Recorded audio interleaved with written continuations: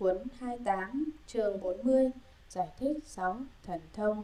Kinh Bồ Tát Ma Ha Tát muốn chú ở 6 thần thông nên học bát nhã ba la mật. Luận hỏi, như đã nói trong phẩm tá thán Bồ Tát, các Bồ Tát đều được năm thần thông, này vì sao nói muốn chú ở 6 thần thông? Đáp, năm thông là sở đắc của Bồ Tát, nên muốn chú 6 thần thông là sở đắc của Phật. Nếu Bồ Tát được 6 thần thông thật, thời có thể đưa đến nạn vấn như thế. Hỏi, trong phẩm vãng sanh nói, Bồ Tát chú ở sáu thần thông đi đến các nước Phật, sau nên nói Bồ Tát đều được năm thông. Đáp, lậu tận thông thứ sáu có hai thứ, một, lậu và tập khí đều hết, hai, lậu hết mà tập khí chẳng hết, tập khí không hết nên nói đều được năm thông, lậu hết nên nói chú ở sáu thần thông. Hỏi, nếu Bồ Tát đã hết lậu, tại sao còn sanh, tại sao thọ sanh? Hết thảy sự thọ sanh đều do ái tương tục nên có. Ví như gạo tuy có được ruộng tốt, gieo đúng thời tưới tầm cũng không thể mọc được. Các bậc thánh nhân đã thoát khỏi lớp vỏ ái, tuy có nhân duyên của nghiệp hữu lậu sanh cũng không thể sanh được. Đáp trước đã nói Bồ Tát vào pháp vị, chú ở địa vị bất thối chuyển, hết nhục thân cuối cùng được phát tánh sanh thân. Tuy đã dứt các phiền não mà còn nhân duyên của tập khí phiền não, nên thọ phát tánh sanh thân, chứ chẳng phải sanh ở ba cõi. Hỏi, A-la-hán phiền não đã hết, tập khí cũng chưa hết, vì sao không sanh? Đáp, A-la-hán không có tâm đại tử bi, không có bổn thể nguyện độ hết thảy chúng sanh, lại lấy việc tác chứng thật tế đã lìa sanh tử. Lại nữa, trước đã đáp có hai thứ lậu hết, trong đây không nói Bồ Tát được lậu tận thông, chỉ tự nói người muốn được sáu thần thông nên học bát nhã ba la mật. Nghĩa của sáu thần thông như Phật nói ở phẩm sau, phẩm tán thán Bồ Tát trên kia cũng đã nói nghĩa năm thần thông của Bồ Tát. Hỏi, thần thông có thứ lớp thế nào? Đáp, Bồ Tát liền năm dục được các thiền, có từ bi, nên vì chúng sanh mà thủ lấy thần thông, hiện các việc hy hữu kỳ lạ, khiến chúng sanh tâm được thanh tịnh. Vì cớ sao? Vì nếu không có việc hy hữu, thời không thể khiến nhiều chúng sanh đắc độ. Một, Đại Bồ Tát suy nghĩ như vậy rồi, buộc tâm vào chỗ hư không trong thân, diệt tướng sắc thô trọng, thường thủ lấy tướng rỗng nhẹ, phát tâm đại dục tinh tấn, trí tuệ chủ lượng, thử sức tâm có thể cất nổi thân chưa, chủ lượng rồi tự biết sức tâm lớn, có thể cất nổi thân, ví như học bay thường bỏ tướng sắc thô trọng mà thường tu tập thức tướng rỗng nhẹ, bấy giờ liền bay được. Hai, cũng có thể biến hóa các vật khiến đất thành nước, nước thành đất, gió thành lửa, lửa thành gió. Các đại như vậy đều làm cho nó chuyển đổi khiến vàng thành ngói gạch, ngói gạch thành vàng. Các vật như vậy đều khiến biến hóa. Muốn biến đất thành nước, thường tu tập niệm tưởng nước làm cho nhiều hơn, không còn niệm tưởng đất. Khi ấy tướng đất theo như niệm tưởng biến thành nước, các vật như vậy đều có thể biến hóa. Hỏi, nếu như vậy thì có gì khác với tu nhất thiết nhập? Đáp, tu nhất thiết nhập là bước đầu của thần thông, trước đã được nhất thiết nhập tám bộ xả, tám tháng xứ, làm cho tu tâm nhu nhuyến chết phục, vậy sao mới dễ vào thần thông? Lại nữa, trong nhất thiết nhập, chỉ riêng mình tự thấy đất biến thành nước, còn người khác không thấy. Trong thần thông thầy không vậy, tự thấy thật là nước, người khác cũng thấy thật là nước. Hỏi, nhất thiết nhập cũng là đại định, cớ sao không khiến thành là nước thật, cho mình và người đều thấy. Đáp, đối tượng của pháp quán nhất thiết nhập rộng, nên chỉ có thể làm cho tất cả thành nước mà không thể làm cho thật là nước. Còn thần thông không thể khắp tất cả chỗ mà chỉ có thể khiến đất chuyển thành nước, bèn thành nước thật. Vì vậy nên hai định lực khác nhau. Hỏi việc biến hóa của hai định ấy là thật hay là hư? Nếu thật làm sao đá thành vàng, đất thành nước? Nếu hư tại sao thánh nhân mà làm việc không thật? Đáp đều thật, thánh nhân không hư, vì đã nhổ hết ba độc và vì các pháp không có tướng nhất định nên có thể chuyển đất thành nước như sáp keo là loại đất mà gặp lửa thầy tiêu ra nước thành tướng ướt Nước gặp lạnh thoái kết thành băng là tướng cứng, nhựa đá thành vàng, vàng hỏng thành đồng hoặc trở lại đá. Chúng sanh cũng như vậy, ác có thể thành thiện, thiện có thể thành ác. Vì vậy nên biết hết thảy pháp không có tướng nhất định. Dùng sức thần tốc biến hóa là thật chứ không dối. Nếu pháp vốn có tướng nhất định, thời không thể biến. ba Thần thông của các hiền thánh tùy ý tự tại đối với sáu trần. Thấy đẹp có thể sanh ý tưởng chán, thấy xấu có thể sanh ý tưởng vui, cũng có thể lìa ý tưởng đẹp xấu mà hành tâm giả, ấy gọi là ba loại thần thông. Thần thông tự tại này chỉ phật mới đầy đủ, bồ tát được thần thông dạo qua các nước phật, đối với ngôn ngữ bất đồng của các nước khác nhau và đối với âm thanh của chúng sanh vi tế, xa xôi không nghe được, nên cầu có thiên nhĩ thông. Thường nhớ nghĩ đến nhiều loại tiếng lớn, thủ lấy tướng ấy tu hành, thường tu tập, nên được có tai tạo thành bởi sắc thanh tịnh của tứ đại cõi sắc được rồi, bèn nghe xa đối với âm thanh người trời, thô tế xa gần, đều thông suốt không ngăn ngại. Hỏi, như trong thiền kinh nói trước hết được thiên nhãn, thấy chúng sanh mà không nghe được tiếng nó nên cầu được thiên nhĩ thông? Được thiên nhãn, thiên nhĩ, thấy biết được thân hình âm thanh của chúng sanh mà không hiểu được ngôn ngữ, các lời lo mừng, khổ vui nên cầu được trí từ vô ngại chỉ biết lời nó mà không biết được tâm nó, nên cầu được trí biết tha tâm. Biết tâm nó mà chưa biết nó từ đâu đến, nên cầu được túc mạng thông. Đã biết từ đâu đến, lại muốn trị tâm bệnh của nó, nên cầu được lậu tận thông. Được đầy đủ năm thông rồi mà không thể biến hóa, cho nên việc độ thoát chưa rộng, không thể hàng phục người tà kiến, người đại phúc đức, nên cầu được thần thông như ý. Thứ lớp phải như vậy, cớ sao đây nói trước tiên cầu thần thông như ý? Đáp, chúng sanh kẻ thô thì nhiều, kẻ tế thì ít. Cho nên trước dùng thần thông như ý, thần thông như ý gồm được cả thô tế, độ người được nhiều nên nói trước. Lại nữa các thần thông được pháp khác nhau, số pháp khác nhau. Được pháp nhiều thì trước cầu thiên nhãn, vì dễ được. Hành giả dùng các ánh sáng, mặt trời, mặt trăng, sao, ngọc, lửa, thủ lấy tướng sáng của nó. Thường xuyên tinh tấn, khéo tu tập. Ngày đêm không đổi khác, hoặc trên hoặc dưới, hoặc trước hoặc sau đồng nhất sáng suốt, không bị ngăn ngại khi ấy bắt đầu được thiên nhãn thần thông, các thần thông khác thứ lớp được như vừa nói. Lại nữa, Phật có chỗ tự chứng được mà thứ lớp nói cho người. Phật đầu đêm được một thông một minh. Đó là như ý thông và túc mạng minh. Giữa đêm được thiên nhĩ thông và thiên nhãn minh. Cuối đêm được tha tâm trí thông và lộng tận minh. Cầu được minh phải dụng công nhiều, nên nói sau, thông và minh thứ lớp được như bốn quả sa môn quả lớn thì ở sau. Hỏi, nếu thiên nhãn dễ được, nên ở trước, sao bồ tát không trước được thiên nhãn?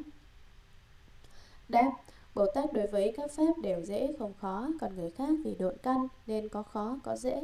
Lại nữa, đầu đêm ma vương đến muốn chiến đấu với phật. Bồ tát dùng sức thần thông biến hóa các thứ làm cho binh khí của ma đều thành anh lạc. Hàng ma xong, tiếp nghĩ đến thần thông muốn cho đầy đủ máu tâm liền vào, liền được đầy đủ thần thông. Hàng ma xong tự nghĩ một thân làm sao được sức lớn. Bèn cầu túc mạng minh, tự biết do năng lực phước đức đã tích tụ nhiều đời. Giữa đêm, ma liền đi xa vắng lặng không tiếng. Vì thương xót tất cả, nghĩ tới tiếng chúng ma, phát sanh thiên nhĩ thông và thiên nhãn minh. Dùng thiên nhĩ ấy, nghe tiếng khổ vui của chúng sanh trong mười phương năm đường.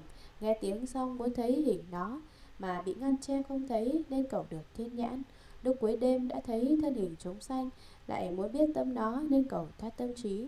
Biết tâm chúng sanh đều muốn liều khổ cầu vui, nên bồ tát cầu lậu tận thông, trong các thứ vui vui lậu tận hơn hết, nên làm cho chúng sanh chứng được.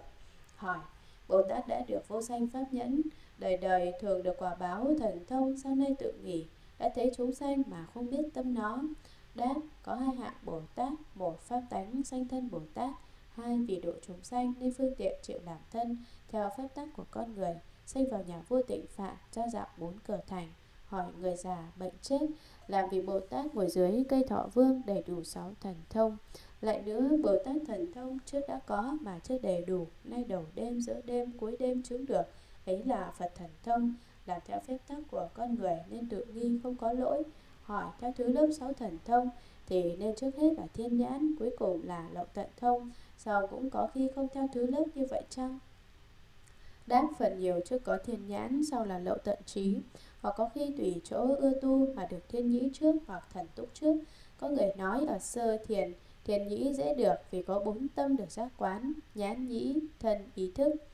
Ở nhị thiền, thiên nhãn dễ được vì nhãn thức không có, tâm thù nhiếp không tán lạ ở tam thiền, như ý thông dễ được vì thân thụ hưởng khoái lạc ở tứ thiền các thông đều dễ được vì là chỗ hết thảy an ổn. Nghĩa của túc mạng tha tâm lộng tận, như trong đoạn mười lực đã nói. Kinh muốn biết hết thảy chúng sanh tâm xu hướng về đâu nên học bát nhã ba la mật. Luận, hỏi trong sáu thông đã nói thần thông biết tha tâm, Sau này còn nói đáp cảnh giới của tha tâm thông biết. Chỉ biết được tâm tâm số pháp của chúng sanh hiện tại Và cõi dục cõi sắc, Chứ không biết được tâm tâm số pháp của chúng sanh. Ở quá khứ vị lai và ở cõi vô sắc, Phạm phu thông Đối với tứ thiền niệm trên, Tùy theo chỗ được thần thông trở xuống, Biết khắp được tâm tâm số pháp của chúng sanh Trong bốn châu thiền hạ Thành văn thông đối với tứ thiền trên Tùy theo chỗ được thần thông trở xuống Biết khắp được tâm tâm số pháp của chúng sanh trong ngàn thế giới. Bích chi Phật thông Đối với tứ thiền điện trên Tùy theo chỗ được thần thông trở xuống Biết khắp được tâm tâm số pháp của chúng sanh trong trăm ngàn thế giới. Người độ căn ở địa trên không thể biết tâm tâm số pháp của người loại căn ở địa dưới. Phạm phu không biết được tâm tâm số pháp của thanh văn. Thanh văn không biết được tâm tâm số pháp của bích chi Phật. Bích chi Phật không biết được tâm tâm số pháp của Phật. Vì vậy nên nói muốn biết hết thảy chúng sanh tâm hành hướng về đâu Nên học bát nhã ba la mật Hỏi, lấy trí gì mà biết được tâm tâm số pháp của hết thảy chúng sanh? Đáp, các đức Phật có giải thoát vô ngại Và trong giải thoát ấy có thể biết được tâm tâm số pháp của hết thảy chúng sanh. Các đại Bồ Tát được giải thoát vô ngại tương tự Cũng có thể biết tâm tâm số pháp của hết thảy chúng sanh. Tân học Bồ Tát muốn được giải thoát vô ngại của đại Bồ Tát ấy và của Phật. Dùng giải thoát vô ngại ấy mà biết tâm tâm số pháp của hết thảy chúng sanh. Đại Bồ Tát thì muốn được giải thoát vô ngại của Phật nên tuy đã nói biết tha tâm thông này còn nói muốn biết hết thảy chúng sanh tâm xu hướng về đâu nên học bát nhã ba la mật hỏi tâm xu hướng về đâu tâm có đi hay không đi nếu có đi thì ở đây không có tâm. Giống như người chết nếu không đi thì làm sao biết được?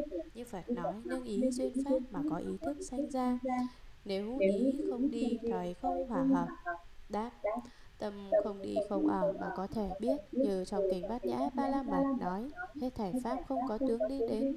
Làm sao nói, tâm có đi đến? Lại nói các pháp khi sanh không từ đâu đến, Khi diệt không đi đâu. Nếu có đến đi, tức rơi vào thường kiến. Các pháp không có tướng nhất định. Vì vậy nên chỉ do trong sáu căn, Ngoài sáu trận hòa hợp sanh sáu thức Và sanh sáu thọ, sáu tưởng, sáu tư. Do vậy nên tâm như huyện hóa có thể biết tâm tâm số pháp của hết thảy chúng sanh mà không có người biết, không có người thấy. Như trong phẩm tán thán đại thừa nói, nếu tâm tâm số pháp của hết thảy chúng sanh đánh thật có không hư dối, thầy phải không thể biết tâm tâm số pháp của hết thảy chúng sanh. Vì tâm tâm số pháp của hết thảy chúng sanh đánh thật hư dối, không đến không đi, nên Phật biết được tâm tâm số pháp của hết thảy chúng sanh. Ví như tỷ kheo người tham cầu thì không được cúng dường. Người không tham cầu thời không thiếu thốn chi. Tâm cũng như vậy, nếu phân biệt thủ tướng thời không được thật tướng pháp, không được thật tướng pháp. Thời không thể thông suốt biết tâm tâm số pháp của hết thảy chúng sanh. Nếu không thủ tướng, không phân biệt thời được thật tướng pháp, được thật tướng pháp nên có thể thông suốt biết tâm tâm số pháp của hết thảy chúng sanh không ngăn ngại. Hỏi, các tâm của tất cả chúng sanh có thể biết được hết ư? Nếu biết hết, thời chúng sanh có biên giới, nếu không biết, thì cớ sao nói muốn biết hết thảy chúng sanh tâm xu hướng về đâu? Làm sao Phật có được nhất thiết trùng trí? Đáp, tâm tâm số pháp của tất cả chúng sanh có thể biết hết được. Vì cớ sao? Vì trong kinh nói, trong tất cả người nói thật, Phật là hơn cả. Nếu không thể biết tâm của hết thảy chúng sanh đến tận biên tế, thì sao Phật nói biết hết? Cũng không gọi là người nhất thiết trí. Như lời Phật nói đều thật Chắc chắn phải thật có người nhất thiết trí. Lại nữa chúng sanh tuy vô biên Thì nhất thiết chủng trí cũng vô biên. Ví như hổ lớn, nắp cũng lớn. Nếu trí tuệ có biên mà chúng sanh vô biên Mới nên có vấn nạn ấy. Nay trí tuệ và chúng sanh đều vô biên Thầy vấn nạn của ông sai. Lại nữa nếu nói hữu biên vô biên Hai điều ấy ở trong Phật Pháp bỏ qua không đáp. 14 việc ấy hư dối không thật Vì vô ích nên không nên cẩn nạn Hỏi nếu hữu biên vô biên đều không thật Nhưng Phật nhiều chỗ nói vô biên Như nói chúng sanh có si ái trở lại đây Vô thỉ vô biên Mười phương cũng vô biên tế. Đáp chúng sanh vô biên Trí tuệ Phật vô biên ấy là thật. Nếu ai chấp trước vô biên Thủ tướng hí luận Phật nói đó là tà kiến. Ví như nói thế gian thường hoặc vô thường Cả hai đều điên đảo Rơi vào trong 14 nạn vấn Nhưng Phật phần nhiều dùng nghĩa vô thường Để độ chúng sanh Ít dùng nghĩa hữu thường nếu chấp trước vô thường, thủ tướng khí luận, Thì Phật nói đó là tà kiến hư vọng. Nếu không chấp trước vô thường, Biết vô thường tức là khổ Khổ tức là vô ngã Vô ngã tức là không. Được như vậy, đừng vô thường quán Mà vào các pháp không, bèn là thật vì vậy nên biết vô thường đứng vào trong chân đế là thật Đứng vào trong 14 nạn vấn vì lý do chấp trước Nên nói là tà kiến. Thế nên nói vô thường để rõ vô biên.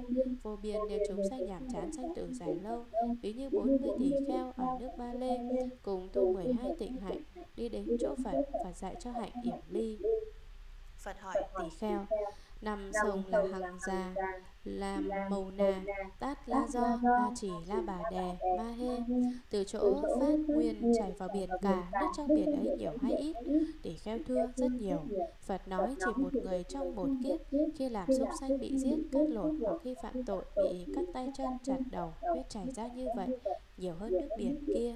như vậy trong vô biên đại kiếp thọ thân xuất huyết không thể kể xiết kêu khóc rơi lệ và uống sữa mẹ cũng nhiều như vậy một người trong một kiếp chứa xương chất quá hơn núi lớn tỷ phú na.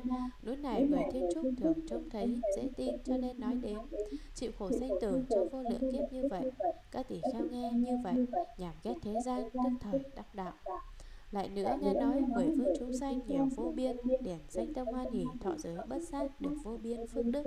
Do nhân duyên ấy, Đối với Bồ Tát mới phát tâm, Hết thảy chúng sanh trong thế gian đều nên cúng dường. Vì cớ sao? Vì độ chúng sanh trong vô biên thế giới Nên công đức cũng vô biên, Có lợi ích như vậy nên nói vô biên. Vì vậy, nên nói biết hết thảy chúng sanh, Tâm xu hướng về đâu, Như mặt trời chiếu thiên hạ, Một lúc cùng chiếu đến khắp nơi đều sáng. Kinh Bồ Tát Ma Ha Tát muốn hướng trí tuệ của hết thảy, thanh văn, bích chi Phật, nên học bát nhã, ba la mật.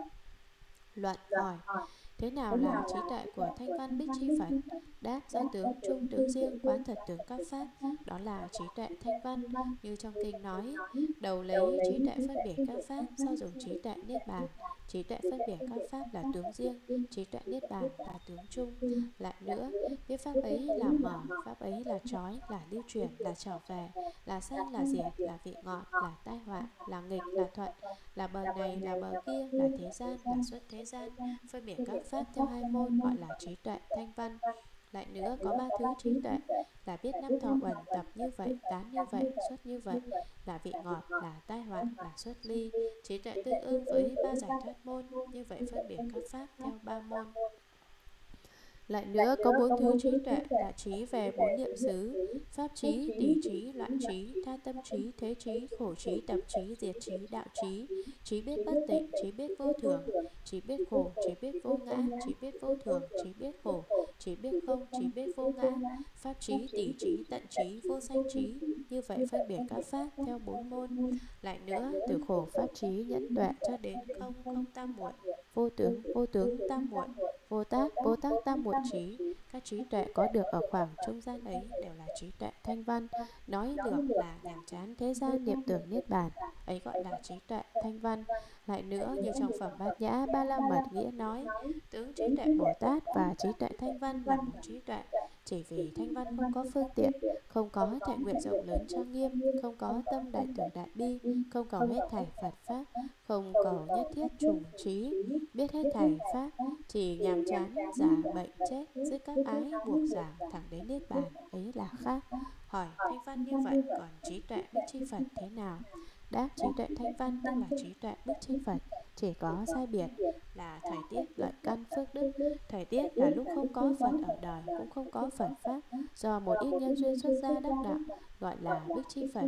Lợi căn là khác pháp tướng là đồng chỉ do trí tuệ vào sâu mà được đạo bích chi phật. Phước đức là có tướng hoặc một tướng hai tướng cho đến 31 tướng Họ gặp được thánh pháp trong Phật pháp đời trước Sau khi pháp diệt chứng thành A-la-hán Ấy gọi là Bích Chi Phật. Thân không có tướng hảo Có vị Bích Chi Phật màu nhất là tu hành bốn đời Lâu là tu hành trăm kiếp. Như thành văn có vị mau là ba đời lâu là 60 kiếp. Nghĩa, nghĩa này trước đã nói rộng.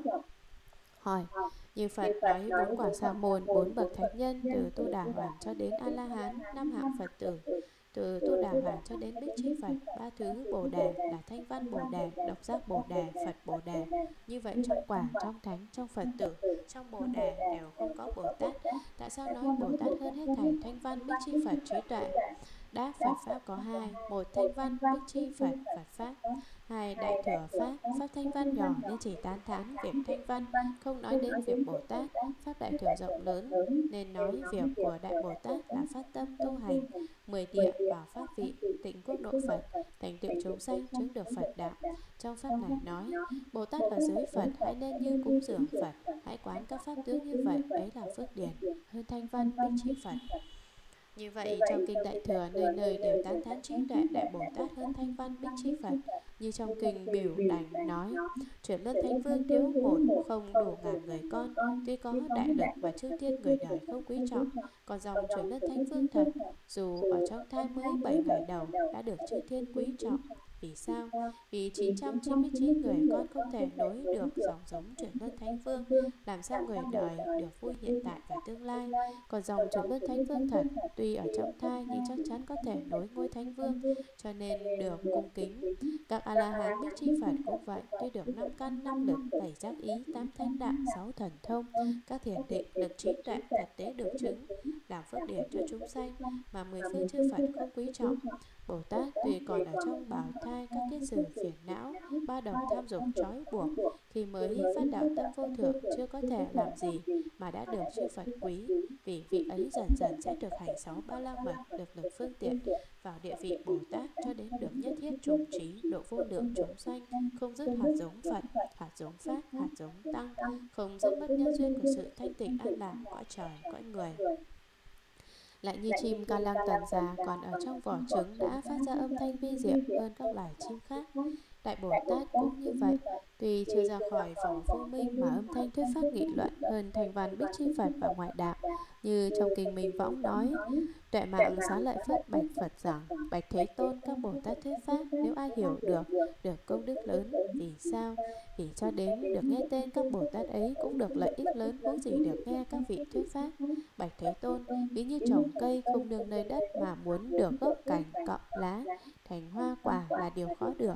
Các Bồ Tát tu hành cũng như vậy, không chú nơi hết thành pháp mà hiện chú ở sanh tử, ở trong thế giới chư Phật, tự tại vui nói pháp trí tuệ.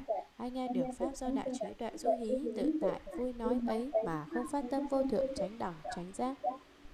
Bây giờ trong hội có Phổ Hoa Bồ Tát nói với Sát Lợi Phất, trưởng lão là bậc trí tuệ đệ nhất trong hàng đệ tử Phật. Này trưởng lão, đối pháp tánh các pháp chẳng được chăng? Sao không dùng đại trí tuệ, tự tại vui thuyết pháp? Xá Lợi Phật nói, các đệ tử Phật đúng như cảnh giới của họ, thời có thể có thuyết pháp. Phổ Hoa Bồ Tát lại hỏi, pháp tánh có cảnh giới không? Xá Lợi phất nói, không. Nếu pháp tánh không có cảnh giới, cớ sao trưởng lão nói đúng như cảnh giới của họ, thời có thể có thuyết pháp? Xá lợi Phất nói, tùy chỗ pháp chứng được mà thuyết. Phổ Hoa lại nói, trưởng lão lấy pháp tánh vô lượng tướng làm cảnh chứng ư. Xá lợi Phất nói, phải. Phổ Hoa nói, sau này nói tùy chỗ chứng được mà thuyết, như pháp tánh chứng được là vô lượng, thời thuyết cũng phải vô lượng mà pháp tánh vô lượng thì chẳng phải tướng lường được.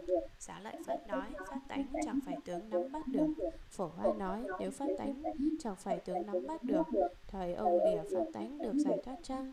Xá lợi phất nói không. Vì sao? Vì pháp tánh là tướng không biến hoại Phổ Hoa nói, thánh trí mà ông chứng được cũng như pháp tánh ư. Xá lợi Phất nói, tôi muốn nghe pháp, chẳng phải đúc thuyết. Phổ Hoa nói, hết thầy pháp nhất định ở trong pháp tánh, có người nghe, người nói ư. Xá lợi Phất nói, không. Phổ Hoa nói, sao ông nói tôi muốn nghe pháp, chẳng phải lúc thuyết. Xá lợi Phất nói, Phật nói, hai hạng người được phước vô lượng là người nhất tâm thuyết pháp và người nhất tâm nghe pháp. Phổ Hoa nói, ông vào trong diệt, tận định, có thể nghe Pháp chăng? Xá lợi Phất nói, này thiện nam tử, trong diệt tận định, không nghe Pháp. Phổ Hoa nói, ông tín thọ hết thảy Pháp tướng thường tịch diệt chăng? Xá lợi Phất nói, tin việc ấy. Phổ Hoa nói, Pháp tánh thường tịch diệt nên không nghe Pháp. Vì sao?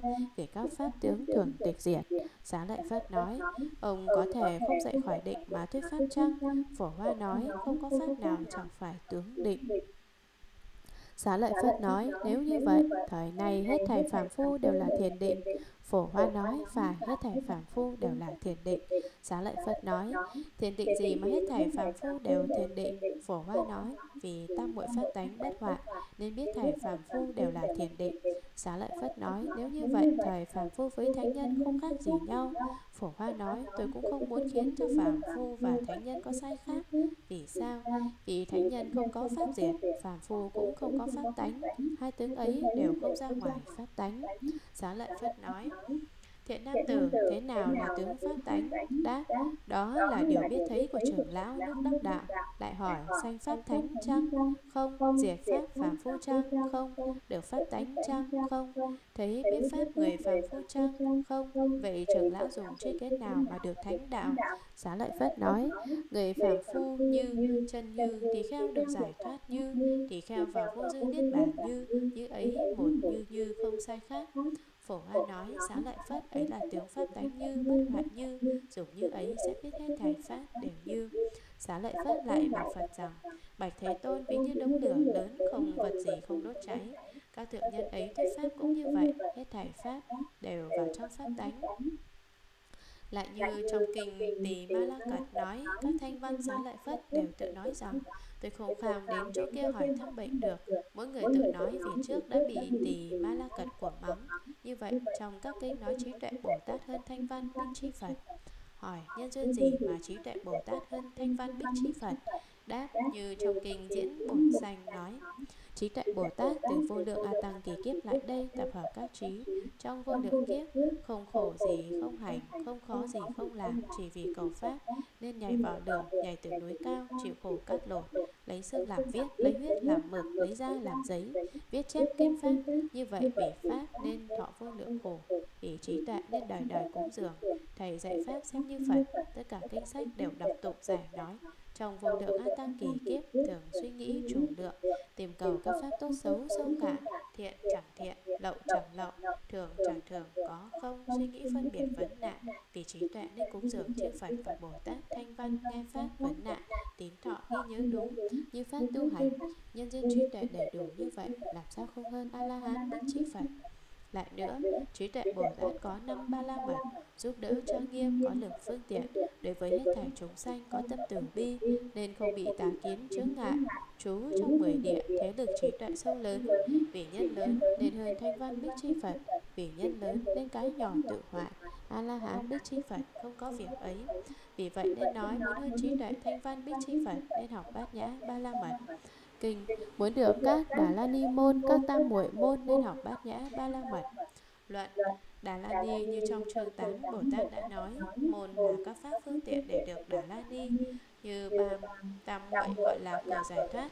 Thế nào là phương tiện? Nếu người muốn được giữ gìn những điều đã nghe, Không mất, Hãy nên nhất tâm ghi nhớ, Làm cho tâm ghi nhớ tăng trưởng. Trước nên để ý nơi việc tương tự. Buộc tâm khiến biết việc không thấy được Như châu lợi và đá ca Buộc tâm nên tâm rẻ trồi dày. Khiến nghĩ nhớ thiền định mà trời tâm như cấu Như vậy người bắt đầu học văn trì Đà La Ni Ba lần nghe có thể được Tâm căn dần dần lách lợi Thì hai lần nghe có thể được Khi thành tựu thì một lần nghe có thể được Được rồi nhớ mãi không quên Ấy là phương tiện ban đầu của văn trì Đà La Ni Hoặc có khi Bồ Tát vào trong thiền định Được môn giải thoát không quên Do năng lực giải thoát không quên Do năng lực giải thoát không quên Mà hết thảy Ngôn ngữ thuyết pháp cho đến một câu một chữ Đều không thể quên Đó là phương tiện thứ hai Hoặc có khi do năng lực thần chú nên được phát trì Đà La Ni. Và có khi do hành nghiệp nhân duyên đời trước Thì sanh ra nghe gì đều nhớ được không quên. Như vậy gọi là cửa vào phát trì Đà La Ni. Lại nữa, Bồ Tát nghe hết thảy âm thanh ngữ ngôn, phần biệt gốc ngọn quán thật tướng nó, biết âm thanh ngữ ngôn niệm niệm sanh diệt, âm thanh diệt rồi, mà chúng sanh niệm niệm chấp thủ tướng, nhớ ngôn ngữ đã diệt ấy, rồi nghĩ rằng người đó mắng ta liền sanh sân hận. Nghe ngợi khen cũng như vậy, Bồ Tát quán chúng sanh được như vậy, Tuy có bị mắng nhiếc trăm ngàn kiếp, không sanh tâm giận hoặc ngợi khen trăm ngàn kiếp cũng không vui mừng. Biết âm thanh sanh diệt như tiếng vang lại như tiếng trống, không có ai làm. Nếu không ai làm là không có nơi trốn chốt giáo không, trừ lừa dối tay người ngu. Như vậy gọi là vào âm thanh Đà La Ni. Lại nữa có Đà La Ni lấy 24 chữ và thu nhiếp hết tất cả ngôn ngữ danh tự. Những gì là 24 chữ? Đó là A-la, Ba Giá, Na, A Đề, Ban Đầu, Ban Đậu, Ban Nạ, Bất Sanh. Vị Bồ Tát tu hành Đà La Ni nghe chữ A ấy tâm liền vào tất cả pháp ban đầu chẳng sanh. Các chữ như vậy, mỗi chữ theo chỗ nghe đều đưa vào trong thuật tướng hết thảy các pháp ấy gọi là tự nhập môn Đà La Ni. Như trong phẩm Ma Ha Diễn nói các tự môn. Lại nữa, Bồ Tát được các tam muội hết thảy ba đời sáng suốt không ngại đối với mỗi tam muội được vô lượng vô số Đà La Ni. Như vậy hòa hợp gọi là 500 Đà La Ni môn, đấy là tạng công đức thiện pháp của Bồ Tát. Như vậy gọi là Đà La Ni môn các tam muội môn, tam muội có hai, tam muội trong pháp thanh văn, tam muội trong pháp đại thừa. Tam muội trong pháp thanh văn là ba tam muội, lại nữa ba tam muội là không không tam muội, vô tướng vô tướng tam muội, vô tác vô tác tam muội. Lại có ba tam muội là có giác, có quán, không giác, có quán, không giác có quán. Lại có năm chi tam muội, năm trí tam muội, đấy gọi là các tam muội. Lại nữa hết thảy thiền định cũng gọi là định, cũng gọi là tam muội. Tứ thiền cũng gọi là thiền gọi là định cũng gọi là tam muội, trừ tứ thiền các định khác cũng gọi là định cũng gọi là tam muội cũng gọi là thiền. Định ở trong mười địa gọi là tam muội. Có người nói, ở dục giới địa cũng có tam muội, vì cớ sao? Vì trong dục giới có 22 đạo phẩm, nên biết có tam muội. Nếu không tam muội thì không thể được công đức thâm diệu ấy. Lại nữa, trong ngàn câu hỏi, có câu hỏi này, trong bốn tướng chủng mấy hệ thuộc dục giới, mấy hệ thuộc sắc giới, mấy hệ thuộc vô sắc giới, mấy không hệ thuộc đáp, tất cả nên phân biệt bốn thánh trùng hoặc hệ thuộc dục giới, hoặc hệ thuộc sắc giới, hoặc hệ thuộc vô sắc giới, hoặc không hệ thuộc bốn niệm xứ, bốn tránh cần, bốn như ý túc cũng như vậy. Do nghĩa đó nên biết, ở dục giới có tam muội, nếu tâm tán loạn, làm sao được pháp thượng diệu vì vậy nên tam muội đều có ở trong chín địa từ ngữ thú tám cơ địa đến phi xứ địa các tam muội như vậy ở trong a tỷ đàm có phân biệt rộng. tam muội trong pháp đại thừa từ thủ lăng nghiêm tam muội cho đến tam muội hư không tế giải thoát không vướng mắc lại như tam muội thấy hết thảy phật cho đến hết thảy như lai giải thoát tu quán vô lượng vô số bồ tát tam muội như sư tử tận thân tam muội như có tam muội tên là vô lượng tịnh bồ tát đời tam muội này hay thị hiện thân hết thảy thanh tịnh có tam muội tên là oai tướng bồ tát được tam muội này hay cướp mất oai đức mặt trời mặt trăng có muội tên là diệm sơn, bồ tát được tăng muội này hay cướp mất oai đức của đế thích phạm thiên. Có tăng muội tên là xuất trần, bồ tát được tăng muội này hay diệt hết thảy ba độc cho đại chúng. Có tăng muội tên là vô ngại quang, bồ tát được tăng muội này hay chiếu soi hết thảy cõi phật có tam muội tên là không quên hết thảy pháp bồ tát được tam muội này có thể ghi nhớ hết thảy pháp phật nói và giảng nói lại lại phật cho người khác có tam muội tên là tiếng như sấm bồ tát được tam muội này có thể dùng phạm thanh nghe khắp mười phương phật quốc có tam muội tên là làm vui thích cho hết thảy chúng sanh bồ tát được tam muội này hay làm cho hết thảy người có thâm tâm hoan hỷ có tam muội tên ưa thấy không chán? Bồ tát được tam muội này hết thảy chúng sanh ưa thấy, ưa nghe, không biết nhàm chán? Có tam muội tên là quả báo công đức, vui trong một duyên không thể bồ tát được tam muội này thành tựu hết thảy thần thông. Có tam muội, tên là biết hết thảy âm thanh ngữ ngôn. Bồ tát được tam muội này có thể nói hết thảy âm thanh ngữ ngôn. Trong một chữ nói ra hết thảy chữ, trong hết thảy chữ nói ra một chữ. Có tam muội tên là nhóm hết thảy phước đức nghiệp báo quả xanh phước đức nghiệp quả báo xanh Bồ Tát được tam muội này thường im lặng nhập định và vẫn khiến chúng sanh nghe âm thanh sáu ba la mật pháp chúng của Phật thanh văn bích chi Phật mà vị Bồ Tát ấy thật không nói một lời. Có tam muội tên là vượt cao hết thảy Đà La Ni Vương. Bồ Tát được tam muội này thì được vào vô lượng vô biên các Đà La Ni. Có tam muội tên là hết thảy vui nói. Bồ Tát được tam muội này vui nói hết thảy chữ, hết thảy âm thanh, ngữ ngôn, thí dụ, nhân duyên. Như vậy là vô lượng tam muội thế lực hỏi tam muội ấy chính là cửa tam muội chăng? đáp tam muội chính là cửa tam muội. hỏi nếu như vậy sao không chỉ nói tam muội mà còn nói cửa tam muội đáp tam muội của chư phật vô lượng vô số như hư không vô biên. bồ tát làm sao được hết? bồ tát nghe đến tam muội ấy. tam muội liền thối mất vì vậy phật nói cửa tam muội. vào trong một cửa thu nhất vô lượng tam muội như cầm một góc áo liền được quả áo cũng như bắt được ông chú cả bảy ong đều gom hết lại nữa chuyển chuyển làm cửa như trì giới thanh tịnh một lòng tinh tấn. Đầu đêm cuối đêm thường tu tư duy lìa năm dụng lạc được tâm một chỗ hành phương tiện ấy được tam muội ấy ấy gọi là cửa tam muội. lại nữa tam muội thuộc dục giới là cửa tam muội vị đáo địa tam muội vị đáo địa là cửa tam muội sơ thiền. tam muội sơ thiền và nhị thiền biết địa là cửa vào tam muội nhị thiền. cho đến tam muội phi hữu tưởng phi vô tưởng xứ cũng như vậy Noãn xác định là cửa vào tam muội đảnh pháp. Đảnh pháp là cửa vào tam muội nhẫn pháp. Nhẫn pháp là cửa vào tam muội thế đệ nhất pháp. Thế đệ nhất pháp là cửa vào tam muội khổ pháp nhẫn. Khổ pháp nhẫn cho đến là cửa vào tam muội kim cang. Lược nói hết thảy tam muội có ba tướng là nhập chúng xuất, tướng xuất tướng nhập gọi là cửa, tướng chúng là thể tam muội.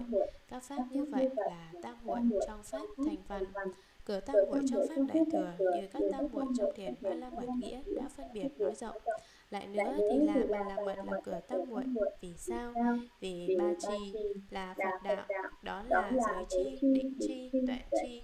Giới chi thanh tịnh là cửa của định chi, vì giới hay sanh định, định chi hay sanh tuệ chi, ba chi ấy hay rất phiền não hay cho niết bàn.